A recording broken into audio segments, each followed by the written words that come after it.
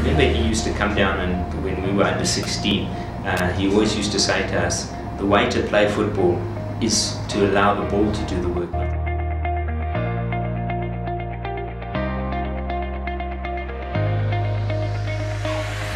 So we used to be training on the second or the third pitch and he would tell you what to do and he would take the ball and you know everyone would try and bounce it uh, and keep it up for 10, 15, 20, how many times I can keep the ball up. He would sit talking to you and he would still be bouncing the ball.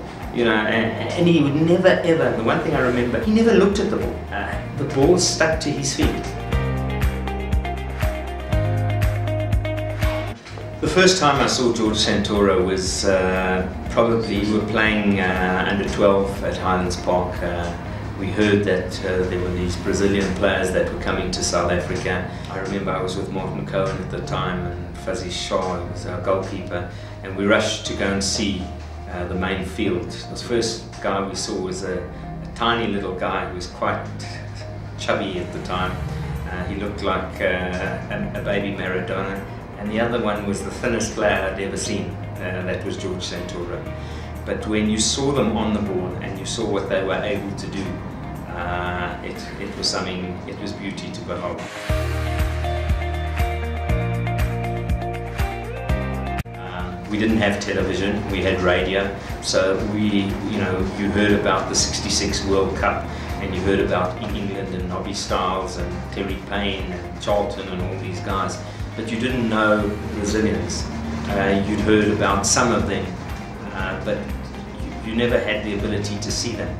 And when you saw guys like George Santoro and Walter da Silva, you realized the extent of what we had missed out in South Africa. And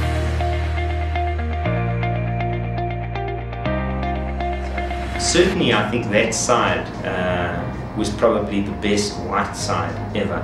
Uh, how they would have gone against um, players of the caliber of Jomo and uh, Ace Ntsoelengoe and uh, the, the Shaba and, and, those guys at a later stage would have been interesting. Because they were such a diverse um, team, they had players from uh, uh the UK who were hard players, they had players uh, from Europe, they even had uh, German players that came out here. But I don't think that you'll ever find a team uh, that had those individual players or the brilliance of those players at that time. And uh, it was quite funny because uh, I remember Joe Frickleton, uh, he was playing fullback at the time and we were watching him and he had this reputation of letting you know who was boss on the field.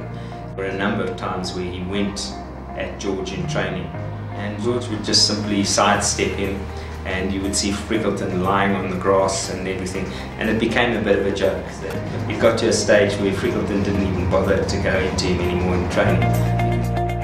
Uh, if you didn't have the privilege to see him uh, perform on a football field, you don't know what you missed.